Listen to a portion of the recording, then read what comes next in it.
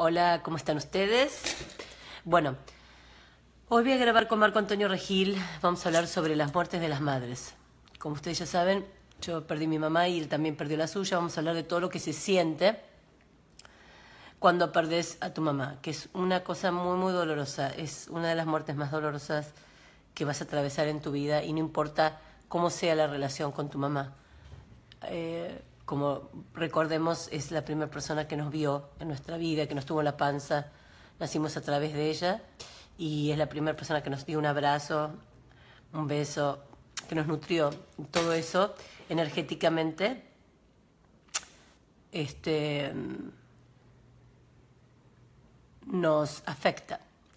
Bueno, em, hoy vamos a hacer, vamos a hablar de un par de, no sé si quieren hablar de algo en especial pero básicamente este, lo que voy a hablar hoy es de la autoestima de nuevo. Y quiero explicarles una cosa. Las personas con alta autoestima tienen dos, tres características fundamentales. La primera, la primera es que todo lo que dicen lo hacen, es decir, que tienen alta integridad y alta responsabilidad.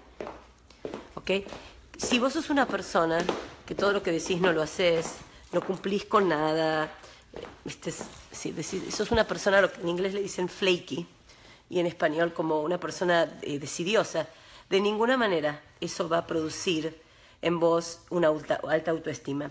Porque la, la, autoestima tiene que ver con el autorrespeto. Y las personas que tienen autorrespeto hacen cosas que también son respetables para los demás. Entonces, Parte de la, alta autoestima es la integridad, ¿ok? Es cumplir con tu palabra, es tener responsabilidad, es no ser una persona víctima. ¿ok? Es decir, las personas que son víctimas siempre creen que les pasan las cosas.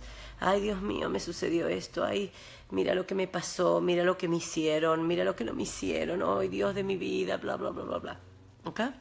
Todo eso no es parte de una persona con alta autoestima. Las personas con alta autoestima toman decisiones continuas y saben que absolutamente todo lo que hacen lo hacen de una determinada manera por decisión propia. Y cualquier consecuencia que, tomen de, ello, de eso que hicieron es, una, es, un, es algo de su responsabilidad. Y nadie es culpable más que la persona. ¿ok?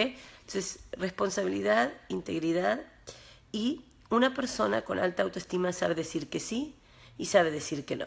Una persona que no sabe decir sí o no, que está siempre como en el medio, es una persona con baja autoestima. ¿Por qué? Porque tiene mucho miedo de la reacción del otro, de lo que el otro sienta. Están continuamente pendientes de la emoción de la otra persona. Y eso es parte de no tener eh, una alta autoestima. ¿Por qué? Porque una persona con alta autoestima no le importa lo que piensen los demás. ¿okay? Porque saben quién son. Esas son las tres cosas importantes. Entonces ustedes, los que me dicen, ¿cómo hago para subir la autoestima? Chequen su integridad, chequen su integridad, chequen su responsabilidad. ¿Ok? Em, hoy, por ejemplo, ya es jueves. De todas las personas que se comprometieron a dar de comer a alguien, solamente hubieron dos, eran como cinco o seis que se comprometieron. Esas personas que no cumplieron, obviamente su integridad no está alta, o por lo menos igualmente tenemos más días pero si por ejemplo vamos a poner que no lo, no lo tuvieran planeado hacerlo, aunque se comprometieron, ese tipo de cosas son cosas que les bajan la autoestima, porque obviamente qué vergüenza ante vos mismo comprometerte a algo, no cumplirlo, ser una persona que no tiene honor, etcétera. ¿Me entienden? Entonces, eso es muy importante, eh, muy, muy importante, y bueno, eso es lo que les quería dejar dicho hoy que si quieren tener alta, autoestima, lo primero que tienen que chequear es su integridad y su responsabilidad.